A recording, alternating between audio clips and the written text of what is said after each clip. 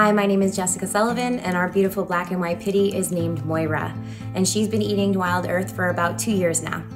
So when we adopted Moira, we noticed that she was having some issues with her dog food.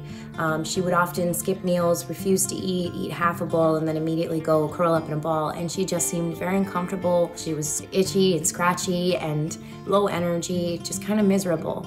And as we kept trying different foods, nothing seemed to be working. And then I came upon Wild Earth, which is clean, plant-based fuel.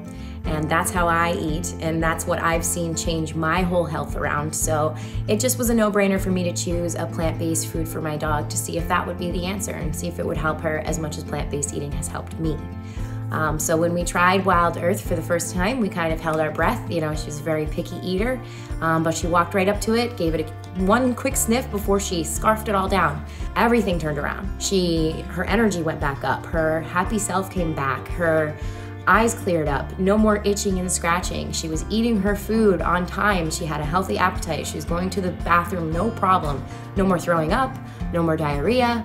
And her coat was the biggest change. She went from having a dull, flaky, you know, shedding kind of coat to this beautiful, glossy black coat. And people stop us on the street and they're like, oh my God, your dog's beautiful. And her coat is amazing. What do you feed her? And I'm always quick to say we feed her wild earth. And it has been the number one reason why she's been so healthy. Um, I definitely think that this has had a huge impact on her long-term health because gut health is super important.